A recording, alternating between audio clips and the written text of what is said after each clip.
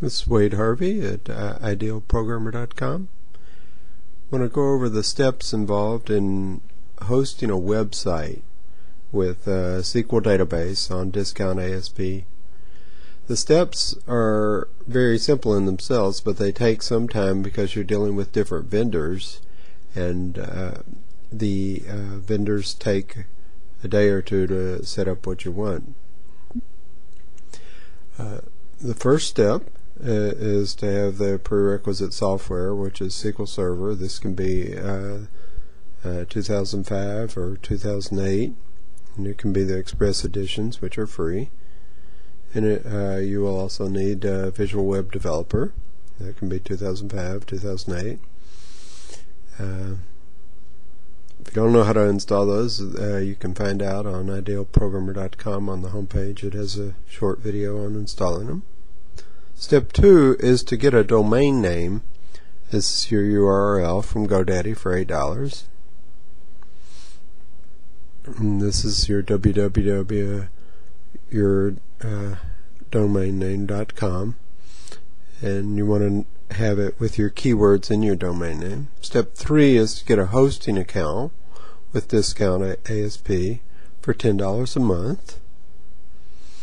And when you're getting that hosting account, you need to select the SQL Server uh, add-on, which is another $10 a month. Step 5, we'll go to GoDaddy and the domain manager and update the name servers uh, to point so you have a, your URL, www, whatever, and you need that to point to the hosting account that you created on Discount ASP. So that's what the name servers do. They point that URL, the www, to the hosting account. Step 6, you'll use uh, SQL Server Management Studio to create the databases or database and tables that you need.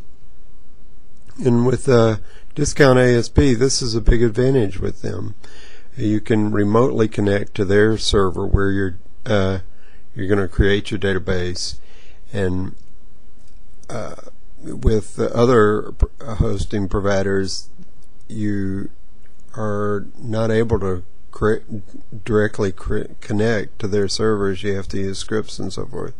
So that's a great advantage of discount ASP.net and there are many others that they're highly geared to dealing with uh, ASP.NET language.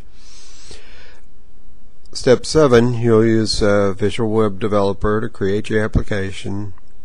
And when you're creating your application, you'll uh, point the SQL data source to the database that you created on discountasp.net. That's how it gets connected. And then step 8 you use Visual Web Developer. You can use the, the website copy website option to cop just to copy your website from your local computer over to discountasp.net, or you can use FTP if you desire.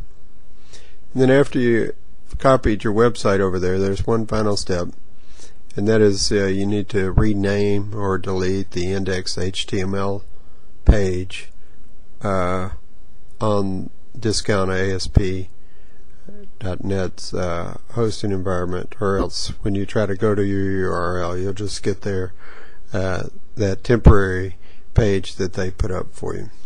So those are the steps. We're going to go through them uh, one at a time. Okay, we already talked about step one of the prerequisite software of SQL Server and Visual Web Developer. So let's move on to step two. Get a domain name from GoDaddy for $8 a year. Okay, here we are on idealprogrammer.com website. You can click on this link for domain names, or there's another link over here uh, to go to domain names. We'll click now. That'll take us to GoDaddy's uh, website. Then you go under domains, register domains.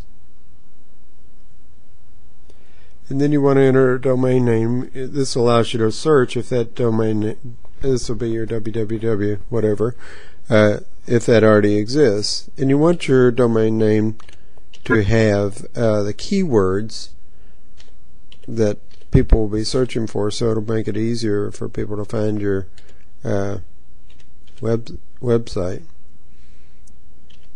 So we're entering Visual Basic Net. Uh, then we do a search to see if that already exists. If it does, it'll come back and tell you. If it doesn't, then it says it's available. So then we just proceed to check out. They offer you a lot of other things to buy, but you basically want to check out. Step three is get a hosting account with discount ASP for $10 a month. Okay, to get the hosting account, you go to idealprogrammer.com. You can click on Net Hosting, or here's a uh, banner that you can click on for discount ASP. That takes you to Discount ASP's uh, website. And here you have uh, sign up uh, for three months, uh, at, starting at $10 per month. So you click on that and sign up now. This gives you your basic uh, hosting plan. You just continue. Uh, you enter your domain name, which uh, I have one out there that I'm going to be demonstrating with. It's my QOL for my quality of life dot com and since it's already hosted uh, they're not going to let me reuse that but I'll say use my existing uh, sorry. I'm going to have to add an X on this just to proceed. Is my existing domain. And then I'll take you on. It tells me it's not registered but then it will allow me to uh, continue with sign up anyway. And then it just uh, allows you to select your platform. Uh, if you want uh, 2003 or 2008 uh, then you just enter this information and that gives you the basic hosting count.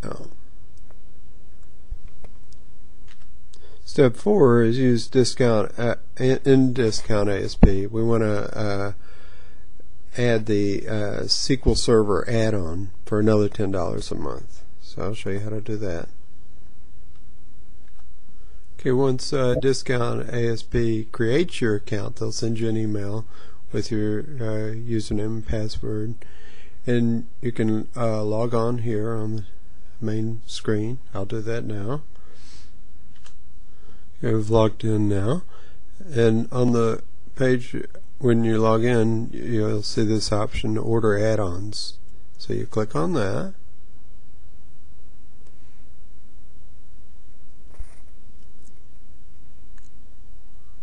then you can uh, add on uh, 2008. Uh, for this example, I'm just adding on a 2005 uh, SQL uh, server database.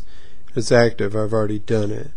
But that, if you wanted to see the pricing, it would be ten dollars a month. So once you add it on, uh, you can go to your database uh, server, they'll send you an email saying where where it is, what the name of your server is. So you click on Database Management uh, SQL Server 2005 in my case.